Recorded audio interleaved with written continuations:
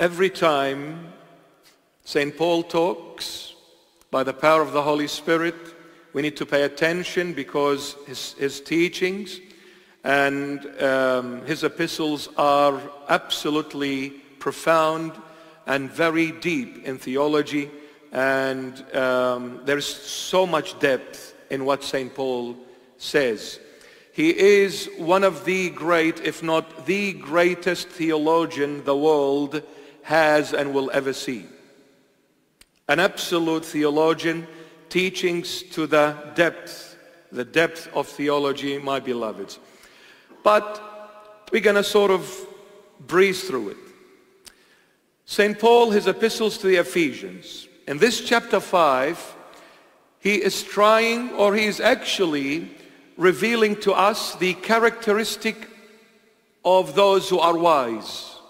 What is the characteristic of a wise man, a wise person?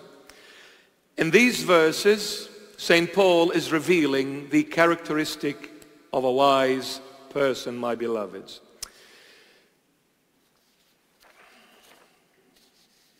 But before we come to the wise, we need to see who is the fool. Before we come to the wise, we need to see who is the fool. A fool person is the one who ignores his end, the ending of his life on earth. The one who does not care about his eternity. Any human that cares not about their end on earth, about their eternal life, they are considered as fools. They are considered as fools.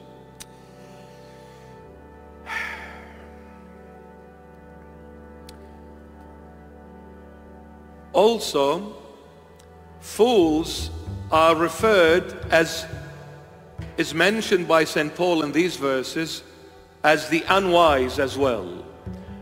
You can say ignorant, unwise, fool.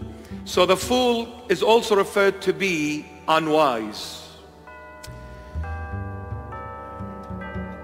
Because the Holy Gospel teaches us, and specifically in Matthew 25, 13, where the Lord Jesus is speaking here the Lord Jesus himself in Matthew 25, 13, where he says, Watch therefore, for you know neither the day uh, nor the hour in which the Son of Man, the Son of Man is coming.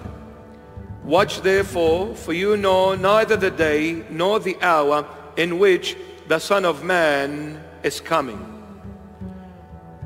You need to be wise. Why? Because you do not know neither the day nor the hour in which the Son of Man is coming.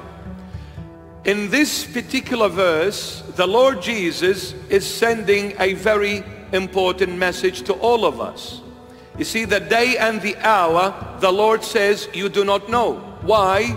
Because the day and the hour is only known in the thought of God. Every single one of us has a day and has an hour to be born and to depart at the same time. That departure, the Lord says, you don't know the day, neither the day nor the hour, because it is only known by God. Since you don't know the day nor the hour of your departure from this world, you need, therefore, to be wise not a fool or unwise person.